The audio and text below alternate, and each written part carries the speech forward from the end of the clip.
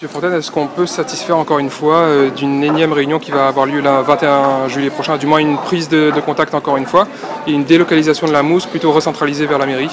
Moi, c'est la date du 21 juillet, je n'ai pas retenu. Euh, la délocalisation, je n'ai pas retenu. En gros, ça veut dire que ça ne m'intéresse pas. Moi, ce qui m'intéresse, c'est les situations concrètes. Comment on va reloger ces gens, dans quelles conditions, à quel prix de loyer? Et d'arrêter de, nous dire effectivement qu'à MS Spencer, donc on refuse des logements. C'est-à-dire qu'on nous propose des logements indécents, tous les vieux logements du monde ont venu refiler, donc il est hors de question pour nous d'accepter cela. Et, il faut effectivement rappeler les choses. Dit que ce sont des gens qui ont été victimes d'un bailleur social. Et aujourd'hui, il ne faut pas qu'on réinveste les choses en leur faisant comprendre, en mettant la pression.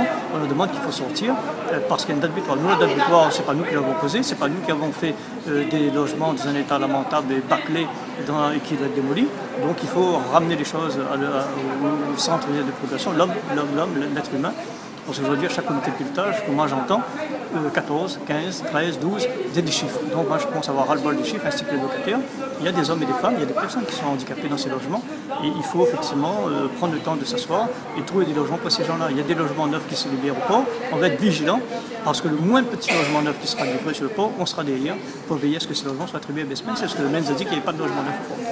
Au, à la fin juillet, il va encore rien se passer. Il y avait pourtant un ultimatum qui était posé hein, à la fin il y a juillet. Un ultimatum qui était posé par un arrêté de péril ordinaire. C'est encore cause perdue là. Euh, mais euh, pas, pas, pour nous, parce qu'il y a un arrêté de péril, à la limite on n'est oui. plus vraiment concerné par cet arrêté de péril. Nous, ce qui nous concerne, c'est le relogement dans des conditions euh, correspondant aux locataires. Mais il ne va pas être respecté. Il ne va pas être respecté, évidemment. Et il y a autre question aussi pour nous de voir des locataires pro proposer des, lo des, logements des locataires à 60 ou 100 km de, de, du port, sous prétexte qu'il y a un arrêté de péril, vous dégagez. Non, ça ne marchera pas comme ça. Vous avez aussi, euh, dernier point, demandé au maire du port de, réagir. Il est euh, élu au sein du CA de la CEMADER. Il a un levier direct presque euh, au sein de, ce, bailleur. Le, le, le, maire du port, comme d'autres maires dont j'ai pas les noms, siège effectivement à la CEMADER. Il a un levier qui est peut-être au point mort aujourd'hui. Donc il faudrait peut-être passer la première ou la marche arrière pour effectivement demander à la CEMADER également des, moyens pour sortir les gens du logement, quitte à ce que la CEMADER assume la part financière qui reste à, payer à ce.